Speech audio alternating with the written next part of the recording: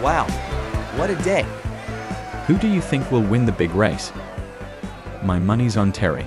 Terry. No way. I like Brett's chances. Brett. Are you insane? I'd just as soon bet on Skylar. Skylar, he shouldn't even be racing. He's way slower than Jeremy. I put a little money on Jeremy.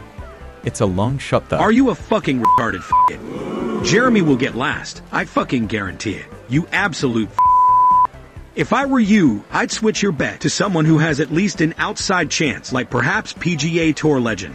Tommy Two Gloves Gainey. You know I love Tommy Two Gloves, but I'd never put a penny on that man. Especially not when Brock is in the race. Yeah, Brock is decent, but he lost regionals to Ben. And Ben tore all his ligaments three weeks before that race, so he wasn't even at full speed. Ben. Now that's a guy I could bet on. I was there when he took down Rick Carr III. No way. Was that the year Rick Carr III and his brother Ron made a mess of the finals? No, that was the year before, at sectionals. You're thinking of Taylor and Saeed. Oh, you're right. Saeed was so fast, and he was a terrific runner too.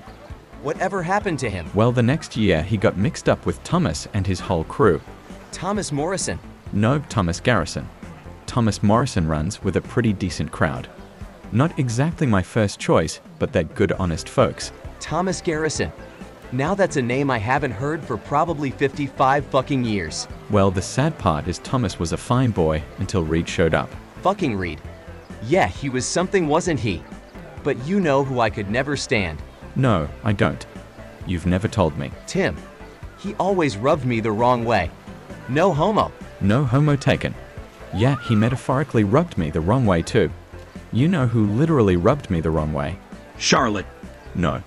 God, no. Rachel. That woman would insist on giving me back rubs, but she didn't know shit about any fucking masseusery or any of that bullshit. She was a pretty slow runner too. Slower than Corey Ann. No, but close. Say Corey Ann could hold her own. I saw her race Jennifer at districts several years back. Jennifer Tullamore. Yep, the one and only. Corey Ann almost beat her too. Rose got third. She surprised a lot of us that day. I'd let Rose rub me the wrong way any day. I heard she was dating deceased TV spokesman Billy Mays. No, that ended a while ago. She's talking to Andrew now. Andrew T. Scott. She seems more in Cliff's league than Andrew's. Yeah, but Andrew has very strong bones and even stronger family values. Okay. Say, what do you think of Lee's chances in the race? I will never bet on Lee again, not since last February. What happened last February? Wouldn't you like to know? Yes, that's why I asked. Nice try. I'm never going to tell you or any of your friends, so please stop asking. Okay. I'm so fucking hungry. So, fucking hungry. I really wish they served nachos and bottled soda at this place. They sell both of those things here. Just go down to the concession stand. Are you serious?